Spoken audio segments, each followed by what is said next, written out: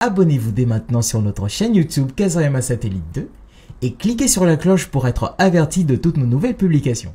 Vous savez que en France, en suivant les émissions, on pouvait le vérifier, beaucoup de couples divorcent après avoir acquéri une maison. Pourquoi? Parce qu'ils n'arrivent pas à gérer les charges et puis les tensions naissent et puis divorcent. Combien de cas vous allez retrouver chez les, chez les huissiers, chez, euh, euh, dans le, aux ventes aux, enchères, des maisons combattent. Pourquoi? Parce que ils ont acheté en couple et les problèmes financiers ont surgi et puis ils arrivent, ils en arrivent au, euh, notamment à la séparation.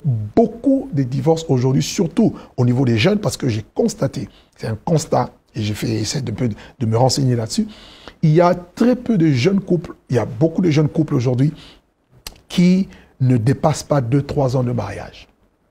Et une des raisons, je dis bien une des raisons, c'est que elles n'ont pas eu de modèle, de véritables modèles. Papa, maman étaient divorcés, étaient séparés, ils s'entendaient pas. L'atmosphère était, était, était violente. Il y avait la violence à la maison, il y avait des cris, ça criait de partout, ça frappait les portes. Voilà. Et, ils ont grandi avec ça. Et voilà comment, pas grâce de Dieu, avec une volonté de guérir non seulement ces blessures-là, mais de, surmonter cela avec la grâce de Dieu, eh ben, ils vont reproduire les mêmes choses. Et malheureusement, au lieu d'avoir des mariages qui vont réussir, mais des mariages vont plutôt sombrer vers euh, l'échec ou encore le chaos.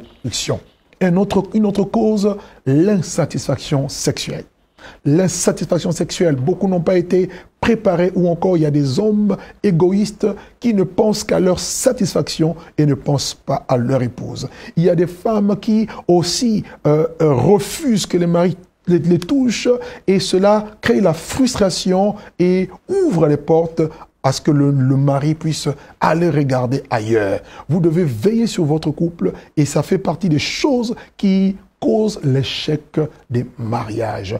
Faites en sorte que le mari et la femme trouvent satisfaction sur le plan sexuel, bien sûr, dans le mariage, parce que ça en fait partie. Le sexe a sa place dans le mariage et non dans une union libre. Voilà. L'amour, c'est aussi accepter les défauts de votre conjoint. Et aujourd'hui, nous, sommes nous assistons à une génération ou à des générations qui ont du mal à supporter les défauts de leur conjoint. Voilà pourquoi ça ne marche pas. On n'épouse pas des anges, on épouse des hommes. Et les hommes ont autant de qualités que des défauts. Et si les défauts que vous avez certainement pu observer lors des fiançailles et que vous avez accepté quand même, malgré ces défauts, de prendre la personne devant vous en mariage, vous devez aussi être capable de pouvoir les supporter. Et c'est ça qui prouve que vous aimez, vous avez l'amour. L'amour supporte tout. L'amour croit tout. L'amour espère tout. Alors pourquoi hier vous allez vous dire oui devant le maire dans la famille et quelque temps après vous allez mettre en exergue ou encore en avant les défauts de votre conjoint de votre conjointe et vous voulez aller quand même au, divorce? Ça veut dire qu'il n'y avait pas véritablement l'amour. Si je dois comprendre la parole simplement, puisque nous sommes en train de parler de la parole simplifiée, si je dois simplifier les choses, c'est que vous devez vous aimer avant de vous marier.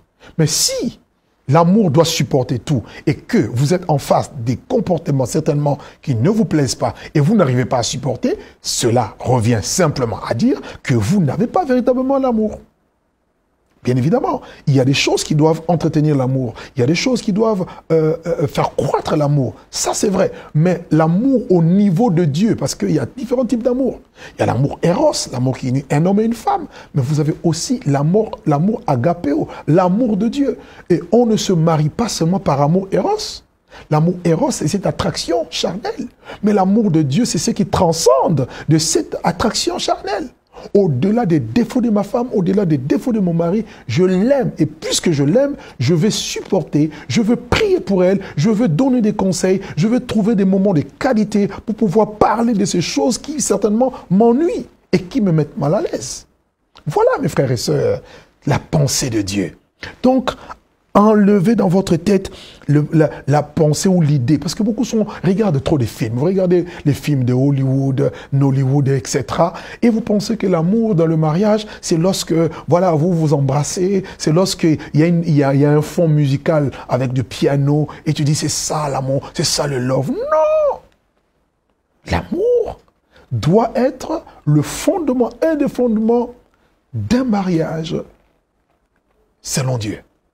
Si vous êtes marié, il faut aussi l'avoir. Le corps du mari appartient à la femme, le corps de la femme appartient au mari. Voilà ce que la parole de Dieu nous enseigne. Et enfin, je voudrais parler du divorce par consentement mutuel. Vous savez, plus ça va, plus nos sociétés sont en train, sont tellement laxistes aujourd'hui et où ont ouvert une grande brèche au divorce. Vous savez, ces dernières années, la loi a rendu le divorce beaucoup plus facile qu'auparavant. Vous savez, dans certains endroits, euh, on peut divorcer simplement par consentement. Vous ne voulez plus euh, continuer ensemble, eh bien vous divorcez. Vous allez voir les assistants, les assistants sociaux, vous allez voir euh, euh, euh, les avocats, vous allez voir des, personnes, des experts soi-disant en matière de couple, et ils vous encouragent dans ce sens-là. Et malheureusement, notre société aujourd'hui est en train de calquer ce modèle, un mauvais modèle qui fait en sorte que quand quelqu'un entre dans le mariage, elle a, la, la personne a déjà une option. Eh bien, si ça ne marche pas, je divorce. Quand vous entrez déjà dans le mariage avec cette brèche-là, avec cette pensée-là, que si ça ne marche pas, je divorce, vous allez finir par divorcer. Et ça, c'est un danger terrible. Alors je vous invite à ne pas tomber dans ce genre de piège. Si vous voulez éviter le, le divorce dans votre vie, aller dans le mariage avec la pensée de ne jamais divorcer et d'aller jusqu'au bout. Votre mariage doit donner gloire à Dieu. Votre mariage doit être une source d'inspiration pour plusieurs. Votre mariage doit vous rendre heureux et du reste doit rendre l'autre heureux et heureuse. Alors, j'espère que ces quelques paroles vous ont édifié. Si vous avez des problèmes, au niveau du couple, au niveau de votre mariage, nous sommes à votre écoute. Vous pouvez nous contacter au 06 08 05 82 07 nous prendrons le temps de vous donner des conseils beaucoup plus détaillés et prier aussi avec vous. Que Dieu vous bénisse abondamment et que la paix de Dieu soit dans votre maison et dans votre vie. À très bientôt. Merci. Je sers le Dieu du tout est possible. Je sers le Dieu dont rien n'est impossible. Je crois en Dieu